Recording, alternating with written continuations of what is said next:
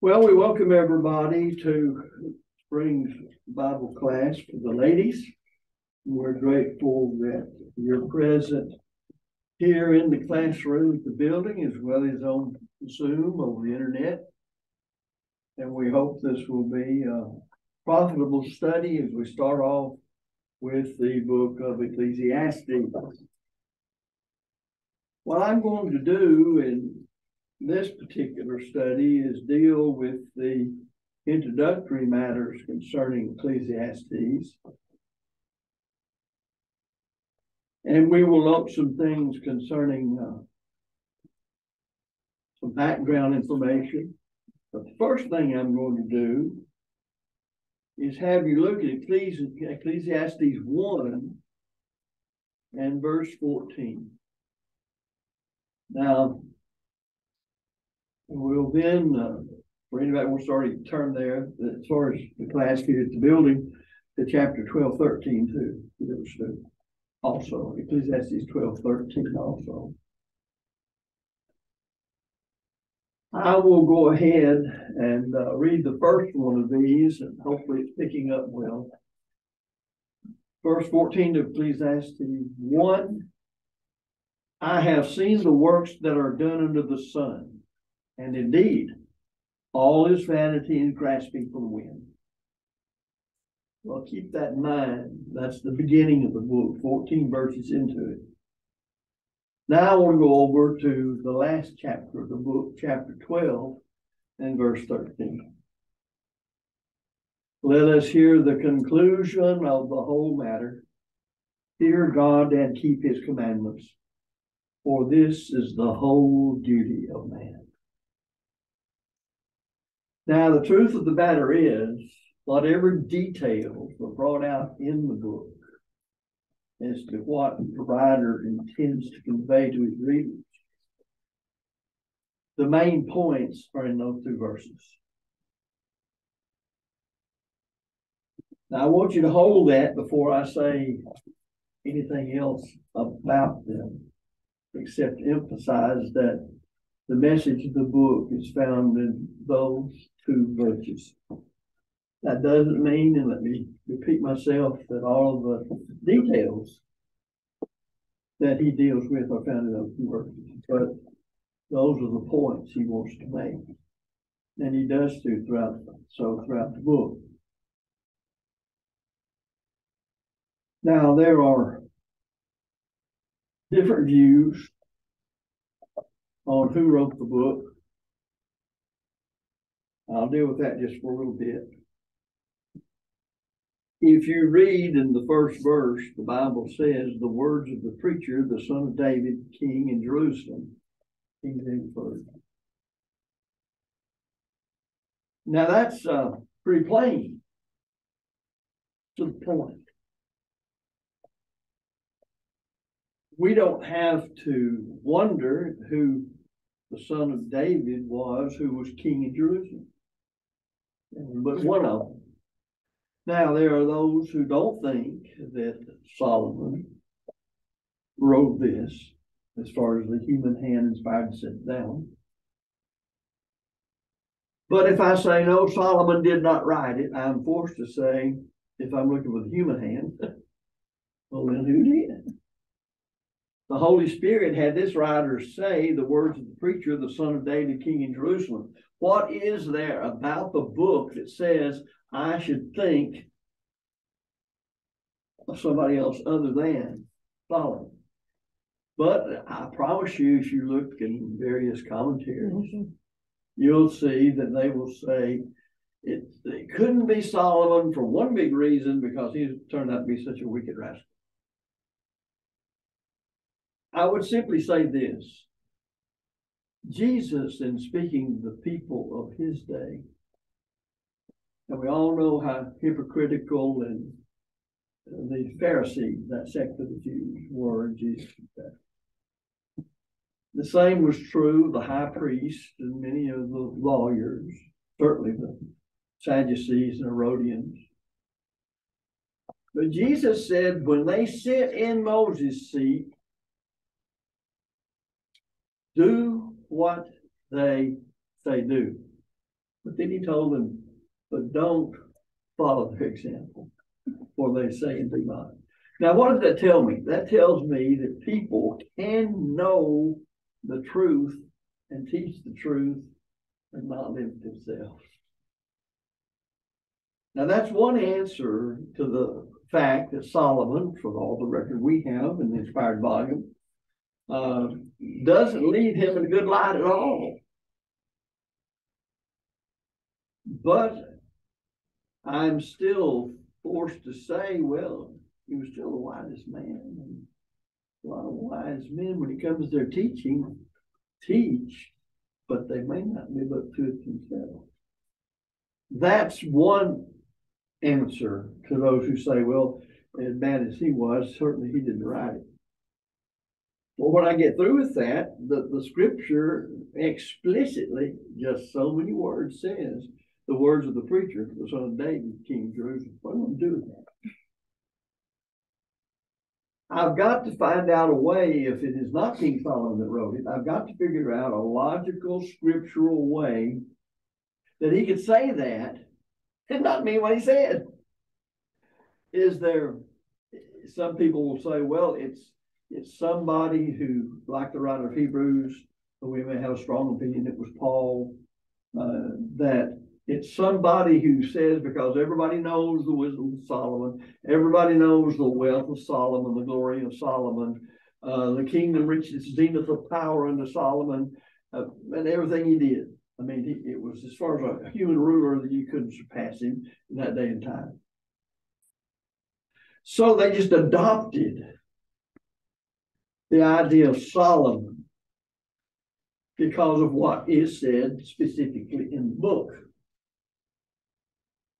Because Solomon, the Jew knew as well as we still do today, Solomon would have been able to experience everything he said this guy experienced. But there's another possibility. And it is that when the historical part of the divine record about Solomon ends, we don't have everything in that historical record said about Solomon. There is the possibility that he repented. And in his very old age says, here's where I messed up. Now, we don't find it strange that David could do what he did. And we know the scriptures explicit on that, just so many words, he repented. Well, what's there to say that Solomon didn't repent in his old age? He still would be the wisest man there. He still would know. If he repented, he would know the truth that he had left and lived in error for a long time and saw what it did. So I'm still forced to take verse 1 literally. And it says the words of the preacher, the son of David, king in Jerusalem. Because I can't replace it with anything else. And I have to strain somewhat to come up with these other explanations. This is this is the kind of thing uh, Ken has talked about on on Wednesday night in a precisely stated proposition. That precisely stated proposition always makes a claim. It's a sentence, but all sentences don't make a claim. Um, a proposition to be debated is precise, and your term, and it's precisely therefore stated. And in stating it, you make a claim, such as the Apostle Paul, in the process of becoming a Christian, repenting of sin, makes a claim that the baptism of the Great Commission, Mark 16 16, is the baptism that those on the day of Pentecost obey. and claim that. So we're not just making a sentence, but we're putting out there something that says demands proof that what we affirm is the case. Well, the Holy Spirit says the words of the preacher, the son of David, king in Jerusalem. Now, what if, what can I do to say, oh, he didn't mean that? But it means something else. Now, I'm not gonna fall out with people who say that, uh, they just let Solomon represent. Um, uh, people who had it all. The message is still there. The message that the writer gets over is there. I'm just gonna take verse one at face value. Most of our, our brethren, sound brethren, not all, we'll take that position. You pick up most of the commentaries that are written by, by our brethren. I've known of some that didn't. Al, Al Brown didn't. But he taught a very good class on Ecclesiastes. He didn't. He would teach you the same thing. Yes, Uh, it's like getting into an argument over who wrote the Hebrews. That's the reason you hear me say every once in a while, who wrote the Bible? God did. Right. Because all scriptures given the inspiration of God. I don't care what human hand wrote it down.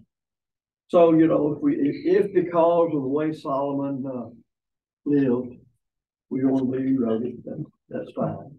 But I'm gonna just take it for what it says here. And it says the words of the preacher, the son of David, king in Jerusalem. But the very next thing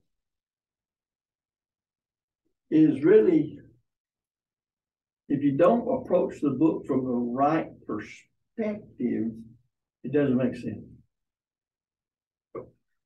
He says, vanity of vanities, saith the preacher, vanity of vanities, all is vanity.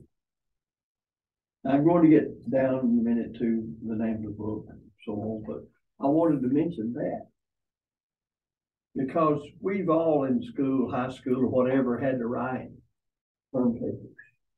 Or some sort of, we used to call them themes, just call them. But you had to have a theme, didn't you? You're supposed to anyway, come up with a theme. Well, uh, verse two, pretty much the theme of this book. And you say, well, how can a godly person have that view? Now, here's the key. He's not writing it from the standpoint of the godly person.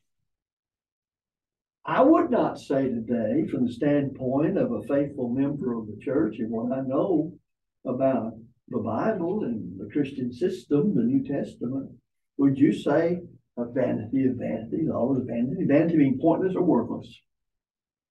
Is all worthless? Is your life worthless? Is it pointless? And if I would ask you, because I know in here you don't think it is, but then why do you not think it is? And then on what grounds do you, you determine that? Because of what the Bible teaches about spiritual things, about how to live this life, what this life is for, how we're to use it. You go back to the Beatitudes. And he's talking about the attitude, the mindset that we ought to have as we approach God while we're still in the flesh on the earth. And that's a very important point. If you take this as a godly man, saying vanity is vanity, all is vanity, you're in all sorts of problems. And that goes against a lot of scriptures to say that uh, life is pointless and everything in life is pointless. But that's not, we'll get more into that later, but that's not the way it would be. And it's hard for us, I realize, to think that way. But it's not the way it would be if you do not believe in God.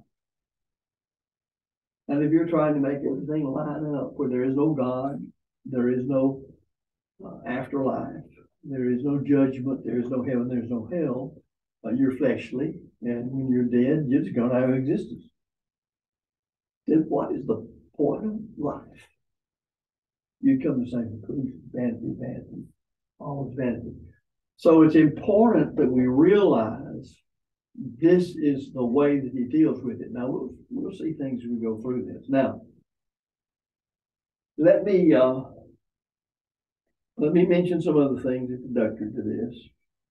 This was, uh, written, if it is the case that Solomon wrote it, uh, around a thousand years before Christ, nine forty, you'll get, try to get specific. Um, again, the age of Solomon works in very well here, his chronological age. It's like a, here is a man who is a very tired and worn out. And he's looking back over his whole life. He's saying, what's the meaning of it? What's the purpose of it? Well, I can tell you as a Christian answering from the Word of God, but if you don't have that, how do you answer? Okay. There isn't, there is an answer, but pointless, pointless, always pointless. Thing. I think anybody would see that. I understand, I think why people who have no really belief in God or an afterlife or whatever get to maybe my age or older or even younger. And they get into bad health and, and no, no hope for them. They think they're just putting themselves out of misery. And because of. So that ought to be kept in mind. Uh, he, I think you can see in the book that he, he makes, um, um, he, he looks, he sounds like a man that's made many mistakes. And maybe he made those mistakes knowing better. Another reason I think Solomon wrote it, but, but nevertheless, uh, he made many mistakes and now he's thinking about the young people to follow. What can I do to cause them not to follow in my path? I think that's an important point to keep in mind because it's still important. It's still important. Look at uh, chapter chapter eleven.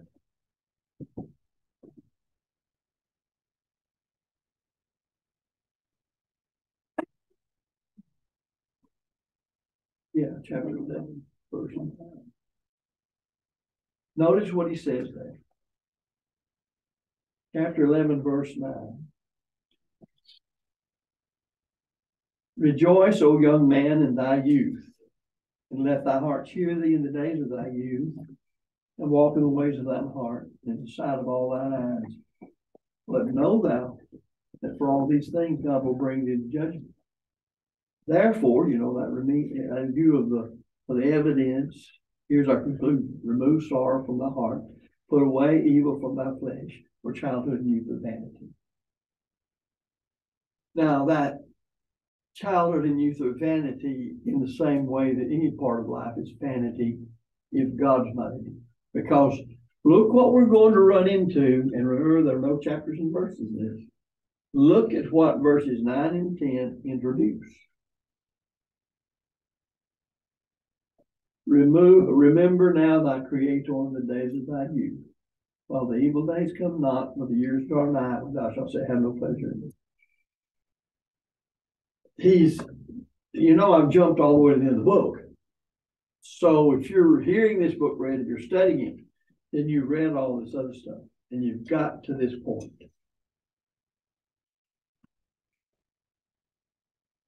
And he's saying, don't make the mistakes. I have." And because first of all, if, if, if you could find happiness in things, in the affairs of this present world, I'll.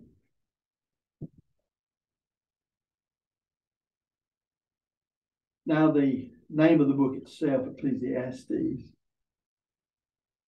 derives actually from um, the preacher. You look at verses one and two, you see it of chapter one. You see the same thing in verse twelve. I, the preacher was king over Israel and Jerusalem. Again, that repeats what he says up here in verse, verses one and two. But then when you're going over in the book, to chapter seven, in verse twenty-seven. Behold, this have I found, saith the preacher, counting one by one to find out the account. The Hebrew word is koheleth.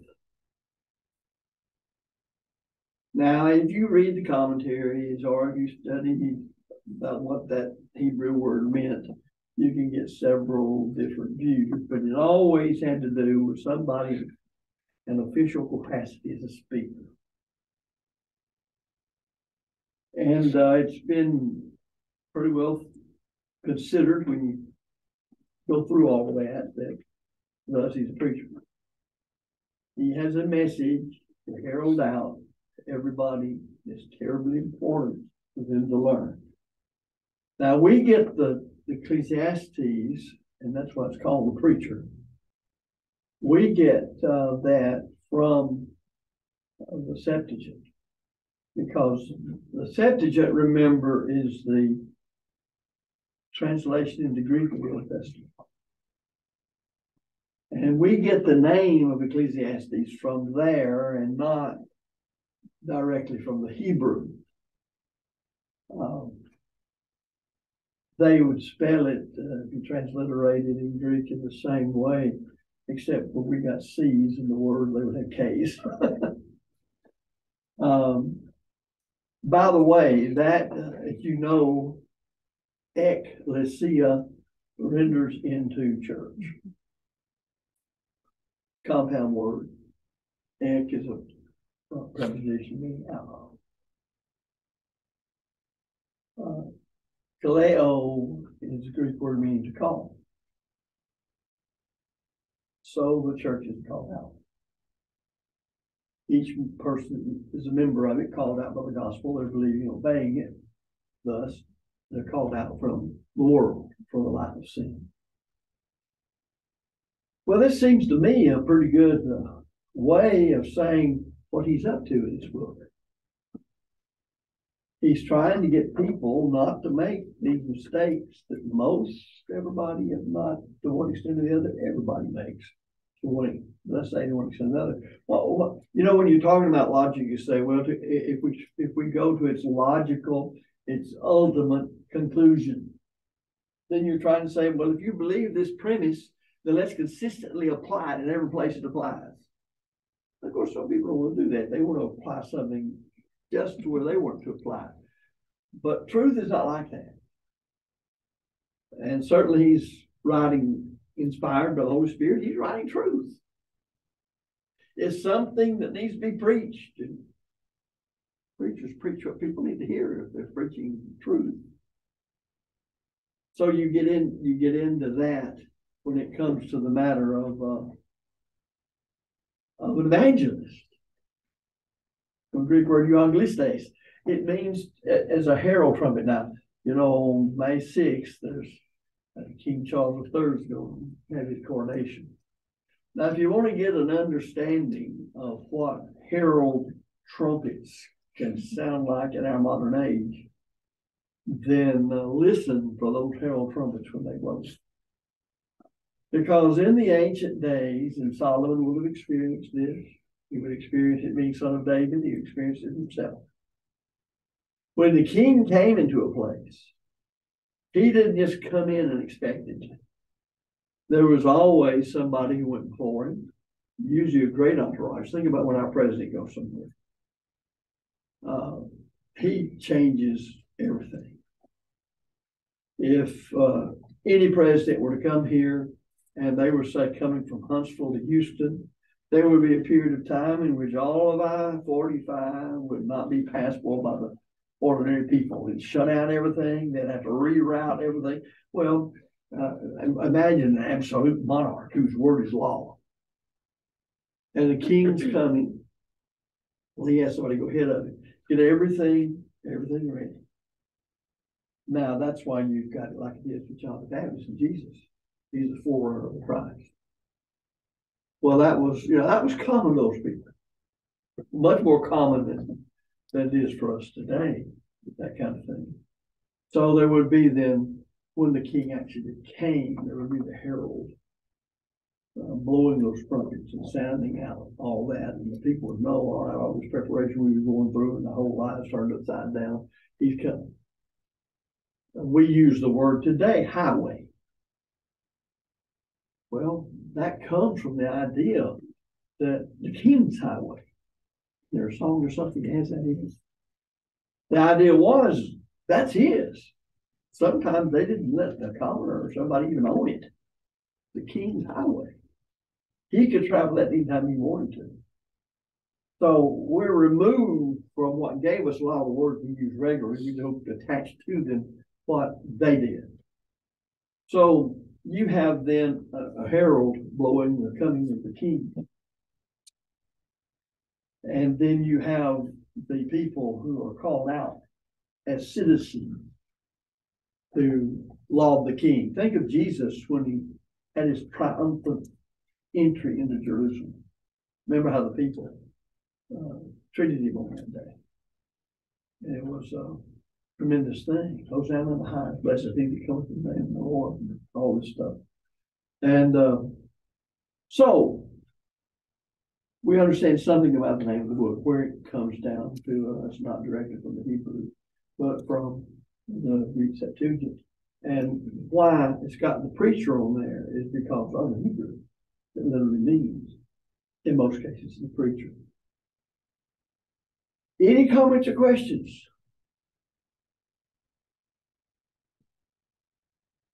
I want to emphasize again, and today, the church being what the New Testament says we as individual members of the church ought to be. This is very important. And I'm just going to repeat myself.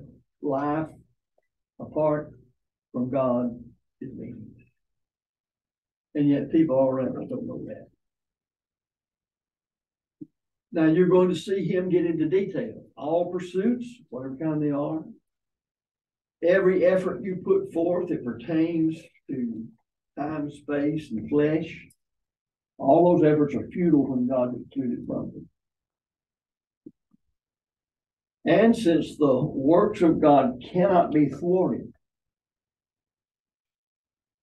then what do we conclude? Well, that only the life of faithful service to God can put value in a life and give purpose to your life.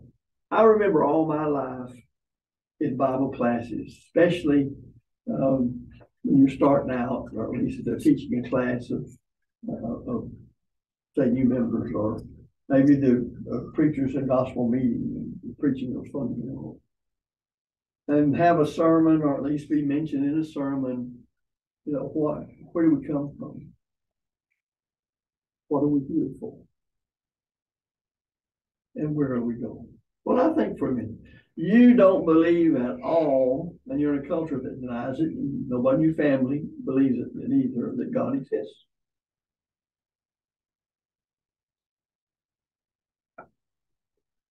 Tell me how you find meaning in your life.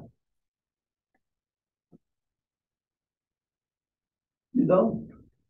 This has been one of the amazing things about communism, especially the kind we've known. Now, communism means it can mean a number of things, but the Marxist-Leninist type of communism that held Russia and still holds China, North Vietnam, and North Korea, not North Vietnam anymore, Vietnam period. Uh, you'd have to understand something about it, but they deny the existence of God. And everything is formed around that. But the communist was would ridicule somebody believed in God and heaven. Because all you do is work for the pie in the sky by and by. What they're doing is saying if there's anything going to be accomplished, it's done while you're alive on this earth. And when you're dead, you're gone. But what you accomplish while you're alive is for the next generation. But you know, he even treats that in the book of Ecclesiastes. We'll get there in a minute, but he basically stuff that minute, if we will. he basically, he basically says, um, get out there and do all this work. You learn all that you can learn. In fact, on everything you're ahead of everybody else in this world. And then what? He even worries over who's going to get his hard earned money and will they appreciate it. I started to bring a quote, and I've had it for years and years. I can almost quote it. I can't probably not paraphrase it. I was preaching in a meeting years ago in North Central Texas. And I was staying at a member's house, and they had uh, some books there on the side table of the bed. Um, saw one that interested me. It was about one of the old Texas ranchers. At the time, uh, uh, he, he was, um, doing all of his building up of his big ranch. Uh, all, well, really half of the nineteenth century.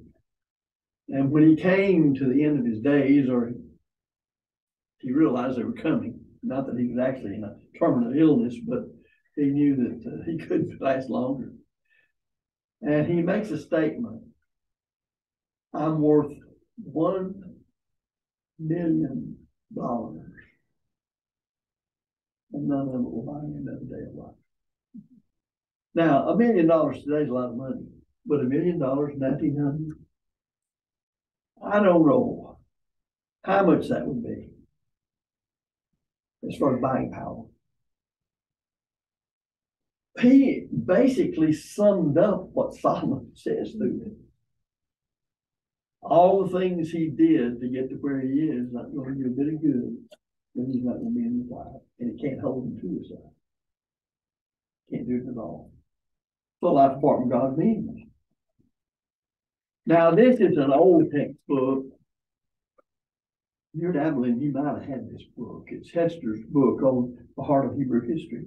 It was used by the colleges uh, a lot, uh, for, for various ones of them. And it's not a member of the church, but he has some really good comments. On page three eleven, he says, the purpose of the book seems to be to show that self-gratification and successful worldliness do not bring satisfaction to the human heart. Life without a knowledge of, a knowledge of and fellowship with God is empty and meaningless. Man has a destiny which calls for cooperation with God in some worthy enterprise. And in this, he finds abiding peace of soul. Now think about that. And I know y'all, I'm assuming you have read the book. And I might suggest to you that you read it every week, before you get through it, at least every week. You can go through it in a hurry. And I read it this afternoon. A few days ago, I read it. And if they all know all the stuff with Jody going on, I might have read it again, but, but I did think about it. But, uh, I can't emphasize enough of, of just reading a book before you get into word studies and all that, because it familiarizes you with, with the text. And, uh, anyway. I don't know of a more up-to-date book than the book of Ecclesiastes. I think what I've said thus far, and even what we read, is quite clear on that. Let me give you, uh, some things here. And see if you can answer them by the verses that I'll give you. Because really, there are about three big questions, and they're designed to probe the mind of the person, instead of making meditate on it throughout the whole of the book. And the first question is, what profit does a man have under the sun? Well, we've been talking about that. Now, look at chapter one, verse three, and then chapter three, verse nine. That's where we get those, that idea.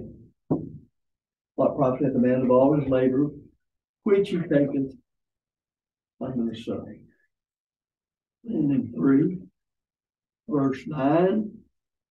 What profit hath he that worketh in that wherein he? But he's, he's, he's asking you that. When you're in a class and you have a teacher asking a rhetorical question, why do we say a rhetorical question? Was it designed by who? Think. Make you think. And that's what Solomon's doing. What you're seeing is a typical way that people were taught in those days. Many times in the classes, a question would be asked, the students would repeat it back, the answer.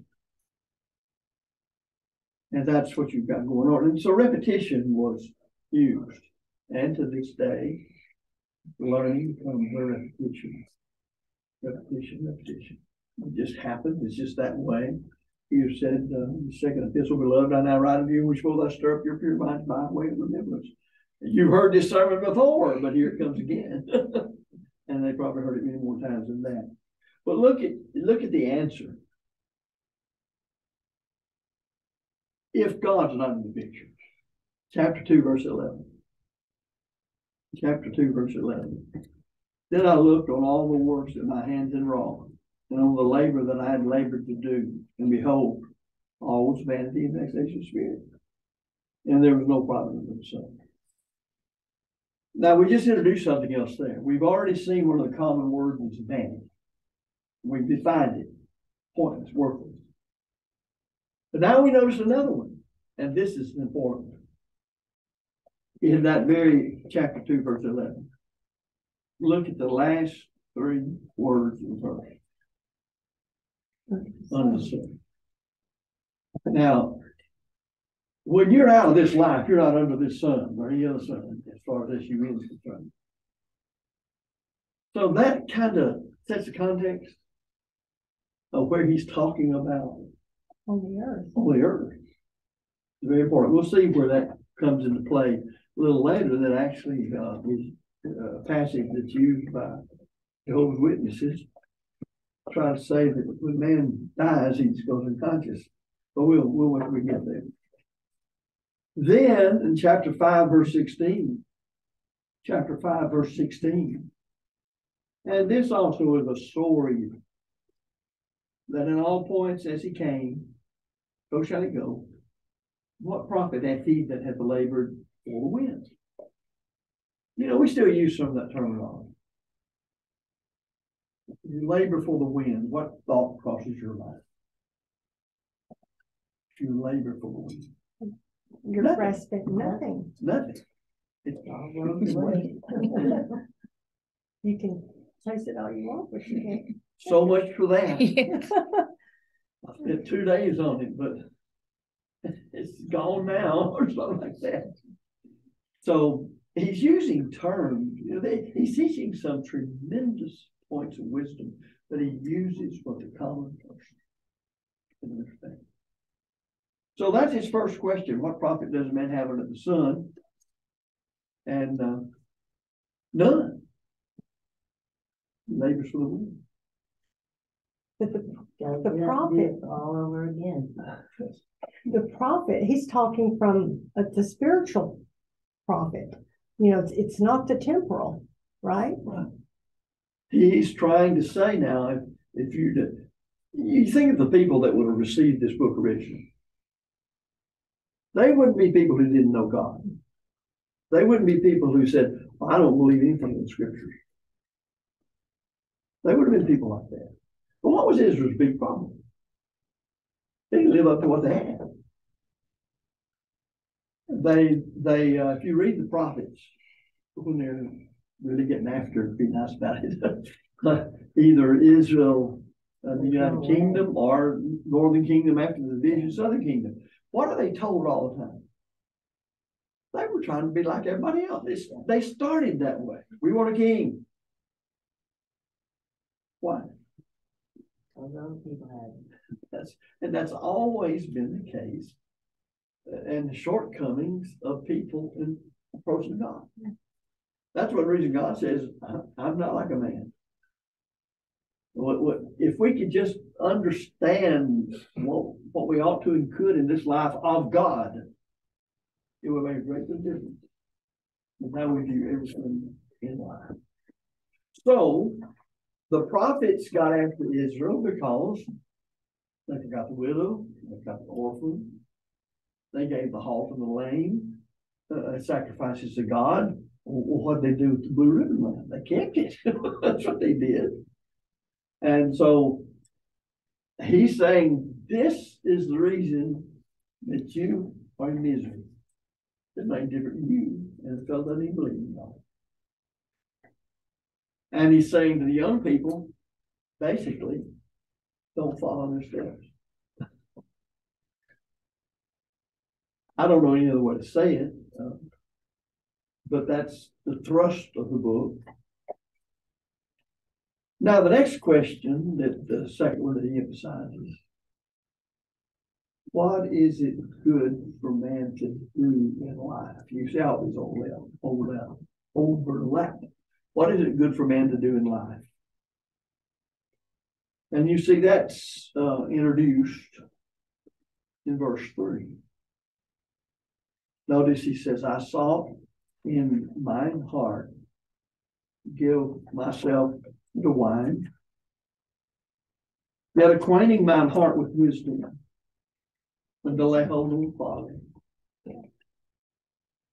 Till I might see what was that good for the sons of men, which they should do under the heaven all the days of their life. Again, you can see him look out at the class almost and say, answer that question. Or in a test, this is a discussion question. You answer it personally. And you've got, you can spend three pages of writing on it if you want to, however many pages you want to let them do. Tell them that's that, what they've got to do is a discussion question on a test. Because that's how personal this was meant to be to the person who read the book. I suggest all the Bible that way. That when you read it, I don't care if it's the rest of the church at Ephesus or the many congregations of Galatia or whatever. For it to be something that works well with me, I have to read it like he wrote it to me. So that's the second question. Now, look at chapter two and verse ten. That's the question. Look at the answer now. What is it good for man to do in life?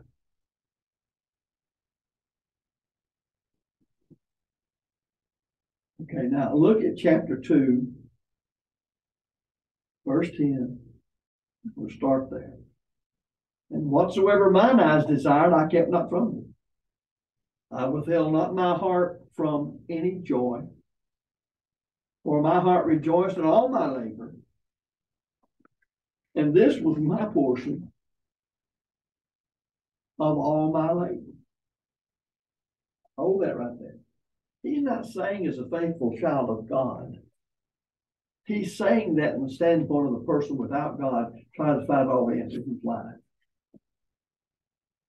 He's saying, will you learn from my mistakes? If you want to look at it that way. Because they all recognize Solomon to be wise because he has God to give him wisdom. And remember, God says that you saw fit to ask for wisdom and not for glory and honor and power and might. I will give you that wisdom and I'll give you the rest of it too. And remember, who was it that said, which he had, the fame of Solomon had spread abroad? She made a special trip to Jerusalem to see him. After she was there with him, what did she say? She never said the The likes of- half has never yet been told. And we even put that in a song to refer to heaven sometimes. So that's what he had accomplished among the people of his day. And this is another, this is another person who had plenty of money herself and power. She's an absolute monarch too. And she says, well, what I heard didn't do it justice. That's what she said. Now, look at, uh, verse twenty-four. In the same chapter, verse twenty-four. There's nothing better for a man than that he should eat and drink, and that he should make his soul enjoy good in his labor. This also I saw that it was from the hands of God.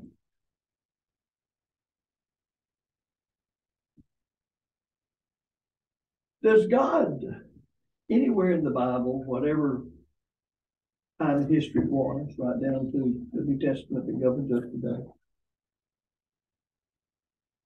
does he want us to enjoy what we have? And, uh, Well, then how does this figure in that he, that we would say, uh, this is that way? Um, That this is something that's, that's not the best thing. Well, let's read, let's hold all that in your mind. Let's read, uh, chapter three and verse twenty-two. Chapter three, verse twenty-two. Wherefore I perceive that there is nothing better than that a man should rejoice in his own work. That is his portion. For who shall bring him to see what shall be after him? Now, you realize what he's saying? if anybody's going to enjoy what I've accomplished, whatever it is, it'll be me. He's describing actually a form of being self-willed and selfish. I will enjoy what I did. He sounds like somebody the Lord told about, Man, the rich farmer. one of the Clares born down That's right. And what did God say to him? Food. That, that, that your soul will be required of My love. food is snack, thy soul shall be required of thee. Now, take that comment and think about what we've been saying tonight. And what Solomon said. Looking at life from the standpoint of no God or not service to God. And you get the rich young, or rich young, uh, farmer. You get him. Well, doesn't that sound like Solomon? Now, look also at chapter five, I believe it is, chapter five. In verse eighteen, chapter five, verse eighteen. Chapter five eighteen, behold, that which I have seen, it is good and comely for one to eat and to drink, and enjoy the good of all his labor that he taketh under the sun all the days of his life, which God giveth him for his portion. You see, he acknowledges that God gave it to him, but who's getting the benefit of it? What does he say? Whatever God gives to you, who should really get the benefit of it? You should. He doesn't bring anybody else into this. He doesn't speak of being benevolent and with an overabundance, you're able to do so much more to help other people. He's no different from the fellow that said, I'll tell my barns to be a bigger. Yeah, He's saying to be thankful for what God has done and given us, right? Not here. Uh, Uh, no, he's saying, he's saying even if, he's saying if you, because remember, he's writing to people who believe in God. Right. They believe in the Old Testament scriptures. Uh, think of the Solomon's temple, think of the worship under the law, all those things. What I think he is saying is that whatever you have, then if it comes from God, who really should enjoy it? It's a selfishness. It's a selfishness. Yeah. It's mine.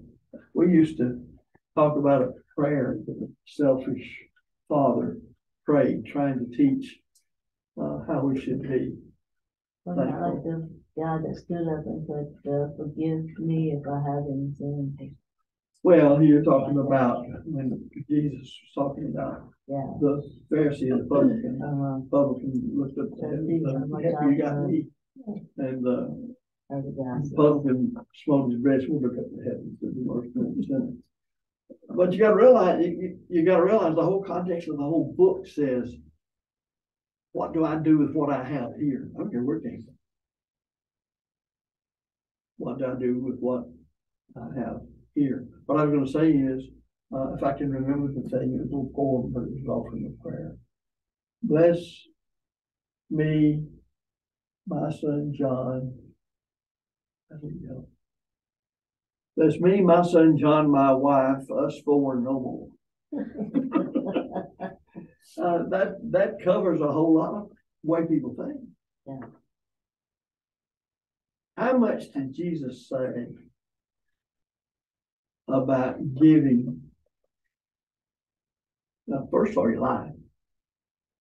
But then what you have been prospering. What did he say? What did he say? I mean, not just him, what does the whole New Testament teach? Well, I've said many times in sermons, take giving out of Christianity and destroy it.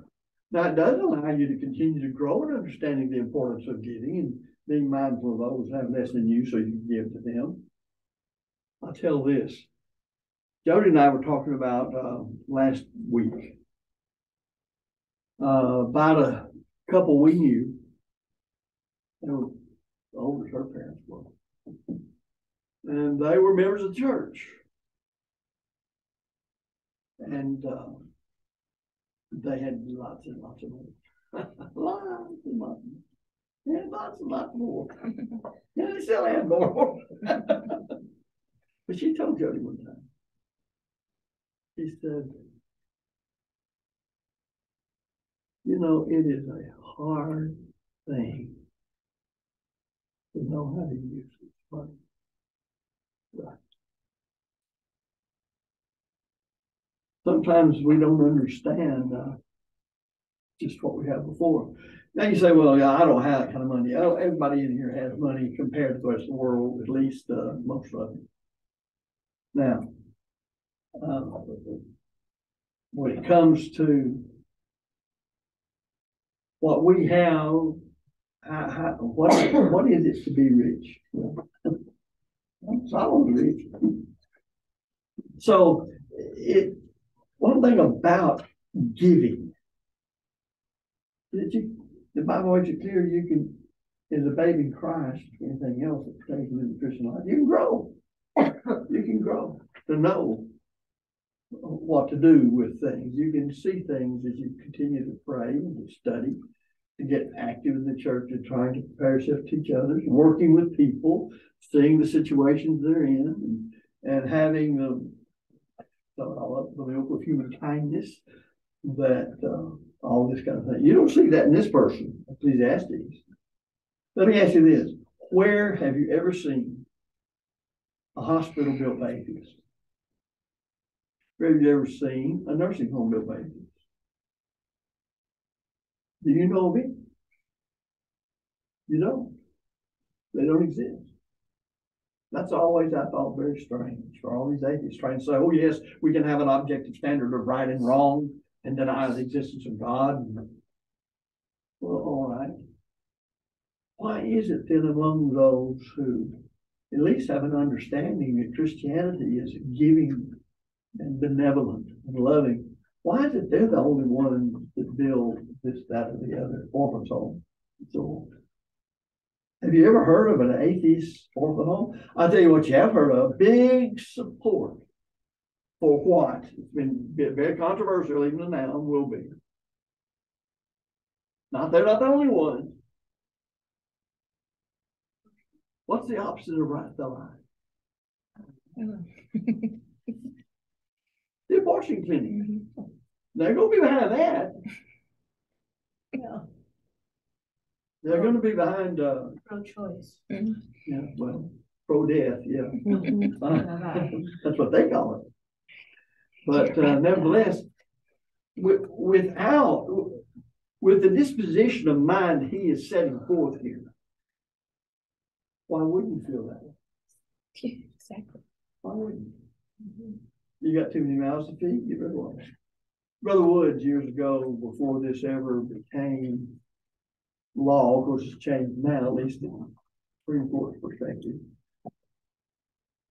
It would have been somewhere in about nineteen, this thing passed in seventy-three originally, did the Supreme Court came down to ruling Roe versus Wade. But this would have been when, I, I can remember very well the young preacher battling this right and left. This would have been about nineteen seventy-one or seventy-two. Brother Woods was handling the open forum of the old Free Organization. And he said, um, he told the story. He said, a woman came in to the doctor. And uh, she had a little child about three years old with her, and she was expecting. And she says, I want an abortion. Well, he says, why? We just can't afford another child. So we barely by now, we can barely do anything. This one, I just don't want to have another child. He said, okay. Send her around here, and he acted like he reached in, he got his scalpel, he said, it's like he's gonna cut her throat, and the mother had a fit. And he said, why are you upset? We get to her a lot easier, we can't get to that one. And some things need to be dealt with just that way. Um, But if, if God's not in the whole thing, and I'm a creature of God to give an account for, to my, for, to him for my life. Based on this book, and at the time he spoke, it would have been, well, Moses was Jew. You know, what good is anything? So you have, did I ever read five eighteen? I think I did, didn't Yeah. So there's a second question. First one, what profit does a man have under the sun? Second one, what is it good for man to do in life? Well, without God, what was it Paul said? Let us eat, drink, and. Now, he quoted that because that was the attitude of the Romans. When they had reached a stage, even these Romans would be considered billionaires today.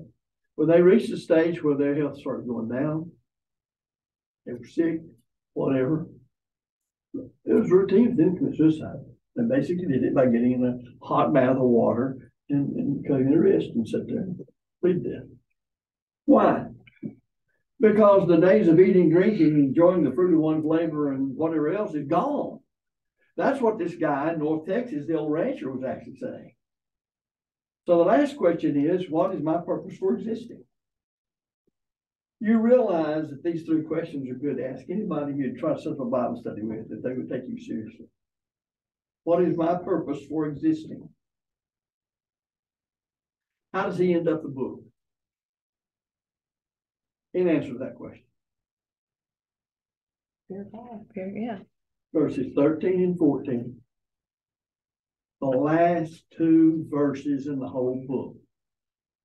So notice it has led us here to the conclusion of the whole matter. Well, what is the whole matter? Everything he's been saying up to now. If God's not in it, vanity is vanity on everything we do under the sun. So fear God, and keep his commandments and so do his end. And then he reminds him, it doesn't end at death. You talk to people nowadays and you, get the idea everything's gonna just cease at death. But he ends it with verse fourteen. For God shall bring every work into judgment with every secret thing, whether it be good or whether it be evil. Now look how that parallels Hebrews nine twenty-seven. Hebrews nine twenty-seven. What did the writer there say? It's appointed unto men to die. That's. That's good. Isn't that parallel with this? Now, what does that tell us about what was taught among those Jews under the law of Moses? They knew these things. They knew they had to give account to God. Now, did they remember it? About as well as Americans remember it. Might as well have been members of the church. Now, here's the thing about the book. Am I going run over time? I got a few seconds. What time do y'all have? I got five till eight. Seven fifty-nine. Real quick, there's a style in the introduction of the book. It's a style of Ecclesiastes. Some people think it's a very pessimistic book. That's just not the case. Um, it's not the style of somebody who's a complainer or one who has withdrawn himself from the world. It is the contemplation of a man who's experienced everything that man could want. Now you see that in ten and eleven of chapter two. Whatsoever mine eyes desire, I kept not from you. And thus, he's trying to find meaning to life, purpose to life, and satisfaction by becoming a movie star, by becoming a multi-millionaire, by getting great uh, honor in the military, by becoming a general, by being a famous writer. All those things that men hold in high esteem, become president of the United States, become a senator, become whatever it is that, that magnifies people in this life. It's interesting that this man in writing this did not resign himself to atheism or agnosticism or some sort of skepticism. Or just simply saying, yeah, God is, but what does that mean to me? Uh, he doesn't. Notice he closes the book with, uh, well, I guess you'd say he holds on firmly to the notion that man must fear God. That that is his strongest duty. Fear God. And that assures man's truest prosperity. Let me read you a couple of passages here, then we'll close class. Chapter two, verses twenty-four through twenty-six, the end of the thing. There's nothing better for a man than that he should eat and drink and that he should make his soul enjoy good in his labor. This also I saw that it was from the hand of God. For who can eat or who else can hasten wherein hereunto more than I? For God giveth to a man that is good in his sight and wisdom and knowledge and joy. But to the sinner he, he giveth travail to gather and to heap up, that he may give to him that is good before God, this also is vanity, vexation spirit. Um, if we view that portion of this from the standpoint that he's giving you a flash of light, that's where you're really gonna end up over here, chapter twelve. Then we get some understanding.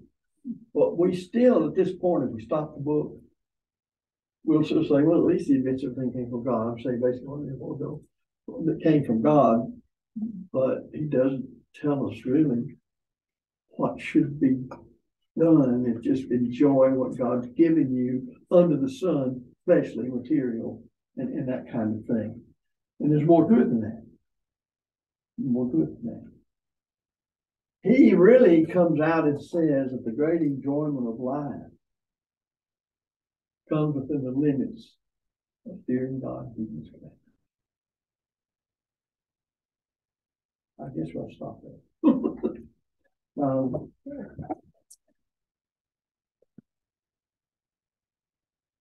And do you have any questions? Anything you want to say regarding? Any additions, do?